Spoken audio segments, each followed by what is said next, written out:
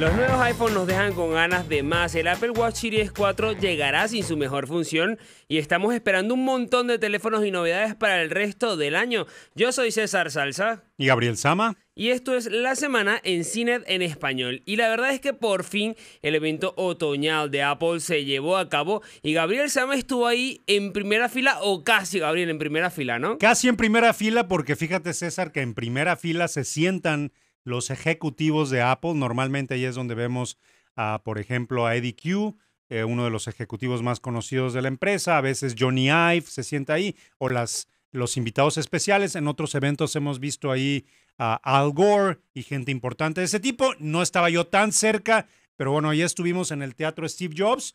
Y bueno, César, muchas de las cosas ya las sabíamos, porque esto de los rumores desde hace varios años le atinan bastante bien. Y entonces hemos tenido, vistas allí, lo viviste en primera persona, un iPhone XS, XS, XS Max o 10S Max, esto es un poco confuso, ahora vamos, vamos a hablar de eso, y también el XR o 10R. Y justamente de eso, Gabriel, quería hablarte, ¿a qué te suenan a ti esos nombres y qué crees tú ¿Cómo le va a llamar la gente? Porque mira, yo ya empecé llamándole XR, XS, pero realmente lo correcto es 10S, 10S Max y 10R. Así es, yo, tú sabes que soy muy estricto con esto de los nombres porque el nombre real es 10 en número romano, que es desde el año pasado el teléfono insignia de Apple, pero incluso yo que he hecho un esfuerzo sobrehumano por llamarlo iPhone 10, en este caso con las letras adicionales me he confundido ya varias veces. XS, cuando lo dices en inglés, XS, XR, bueno, el nombre real es 10R y 10S. Y algo muy importante, César, es que lo que consolida Apple es que la nueva generación de iPhones viene del teléfono que fue de cierta forma una edición especial. En algún momento pensábamos que iban a continuar con la forma y el estilo de los siete, de los seis, los siete y los ocho, que eran de aluminio, con esquinas redondeadas, con, con marcos hasta cierto punto en la pantalla.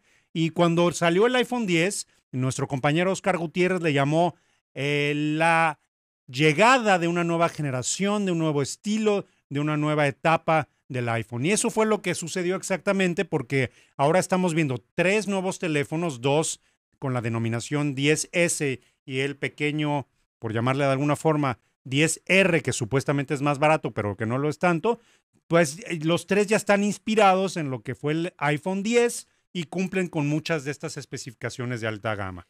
Yo lo que estuve viendo en este evento de Apple es que a lo mejor nos quedamos con ganas de más, ¿no? Porque al final el iPhone 10S es idéntico al del año pasado, cambian muy pocas cosas en el exterior, en el interior obtenemos por supuesto un mejor procesador y algunas otras mejoras y en el caso del 10S Max pues sí es un teléfono de 6.5 pulgadas que es bastante más grande, es incluso más grande que el iPhone 8 Plus, que por cierto la denominación Plus desaparece al menos en esta generación de dispositivos y el iPhone 10R se nos recuerda un poco al iPhone 5C que era muy colorido, muy bonito y que técnicamente es más barato, pero que tampoco lo es tanto como lo decías tú. Yo creo que hemos quedado con, ganas de más novedades, ¿no? Sí, y esto del iPhone 10R eh, creo que lo vamos a estar hablando por mucho tiempo porque si bien eh, Apple lo presenta como un teléfono más económico, pues no lo es. Comienza en 750 dólares la versión más asequible. Y bueno, los colores, el terminado no son de teléfono barato porque el, el 5C sí tenía esa, era como más de plástico. Era de plástico, ¿no? Y los colores eran más brillantes. ¿Y este cómo lo sentiste cuando lo tuviste en la mano? Este se siente idéntico al iPhone 8, ¿no? En muchos sentidos, en cómo se siente en la mano, a pesar de que ya hablamos de que la, pantalla de enfrente eh, cubre prácticamente todo el espacio, tiene el famoso notch o ceja del iPhone 10, pero al mismo tiempo tiene una forma, una sensación similar a ese iPhone 8. Entonces, viene más de esa tradición del iPhone 8, iPhone 7, iPhone 6, pero con muchas de las características que a mucha gente le gustó del iPhone 10. A mí no me recuerda tanto a los modelos 5C y mucho menos al SE, que es otro de los modelos que ya desaparecieron, acaba de eliminarlo Apple, pero fíjate, en términos de teléfonos asequibles, a mí esa forma, esa, esa opción del SE, del 5C, me gustaba Eran más económicos también, ¿no? Porque básicamente Apple lo que ha hecho es incrementar el precio de las cosas más económicas, porque incluso el Apple Watch Series 4 está saliendo con un precio superior al que tenía cuando se lanzó el Series 3 el año pasado, porque era de 329 dólares, si no mal recuerdo. El primero de este año, el, el reloj más barato, cuesta 399 dólares en Estados Unidos, con lo cual baratos, baratos no son, y incluso son más caros que, que lo que eran antes. Y justamente vamos a hablar ahora del Apple Watch Series 4, porque creo que es el reloj inteligente que, que de alguna forma va a marcar un nuevo comienzo para Apple, aunque no cambia demasiado su aspecto de forma, porque antes eh, la gente estaba esperando que fuese redondo por aquello de que podría ser algo distinto y porque hubo algunas patentes de Apple relacionadas con los relojes redondos, pero definitivamente este reloj es cuadrado, es un poco más alargado, tiene una pantalla más grande y vas a poder ver mejor las cosas porque tiene menos bordes, pero sigue manteniendo un poco ese aspecto de forma, incluso las bandas, si tienes un reloj anterior las vas a poder seguir utilizando. ¿Qué fue lo que más te gustó de este reloj inteligente? Porque tú lo tuviste allí en la mano cuando estuviste en el Apple Park. Mira, me voy a robar una frase que leí en otro lado y perdón que no cite específicamente no recuerdo dónde la leí, pero creo que el, Series 4 es el, el, Apple Watch que siempre debió haber sido. Es un Apple Watch mejor terminado, en donde la pantalla se integra de una forma más interesante, con una curva en las esquinas, se integra mejor con las correas, tiene estas funciones de salud porque siempre se presentó como un dispositivo para la salud y este es el que realmente tiene funciones mucho más avanzadas y más interesantes.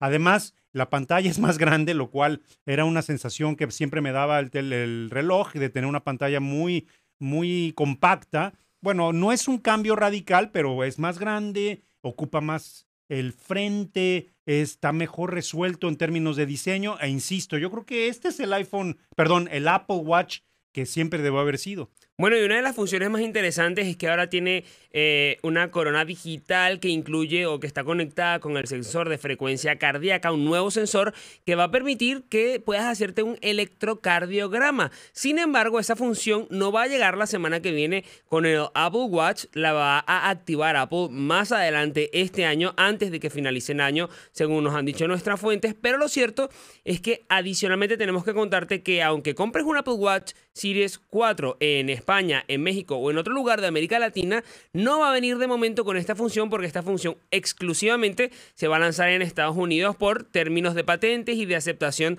de organismos, eh, en este caso de Estados Unidos. Esto es algo un poco complicado, ¿no, Gabriel? Porque vale, en Estados Unidos van a poder medirse este tipo de, de frecuencia cardíaca y poder monitorizarlo y hacer tu electrocardiograma, pero si compras el, reloj en España va a ser el mismo, te va a costar igual, la tecnología va a seguir estando dentro del reloj, pero no la vas a poder usar. Claro, ya en términos de regulación, pues ya estamos hablando de un dispositivo que ya, como mencioné, pues ya entra en el mundo de la salud y ya son temas mayores porque, bueno, medir bien o mal, eh, digamos, la temperatura externa puede ser un problema, pero medir bien o mal tu ritmo cardíaco puede ser fatal, ¿no?